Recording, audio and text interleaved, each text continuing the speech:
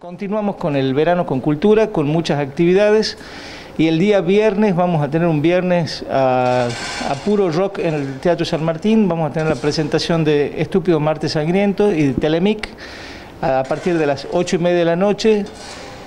Al día siguiente en el mismo Teatro San Martín vamos a tener también a las, a las 8 y media de la noche un homenaje a Atahualpa Yupanqui en el 113 aniversario de su nacimiento con la presentación de Fabiola Orquera, Café Valdés, bueno, un grupo de gente muy este, que nos va a acompañar ese día. El día, en, tanto que en la sala Caviglia, tanto el día viernes como el sábado, vamos a tener una, una obra de teatro dentro de un círculo que es sobre el teatro independiente, de apoyo al teatro independiente, y en el caso particular va a ser una obra que se llama Amor de Músico del grupo Manubrio, que es una obra de teatro que ha sido seleccionada por el Instituto Nacional del Teatro,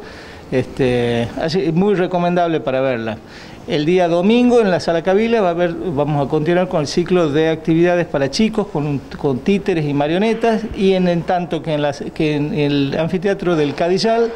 vamos a tener a Sofía Sims con folclore y también un espectáculo de títeres eh, también gratuito allá.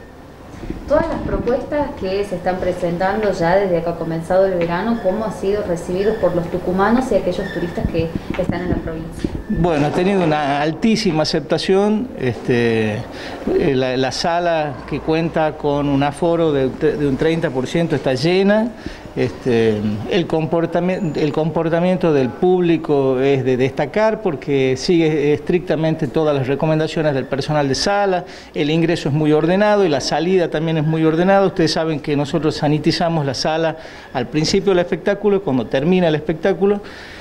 de tal modo que la gente que vaya, tanto los espectadores como el personal de salas, están muy cuidados todo en todo momento.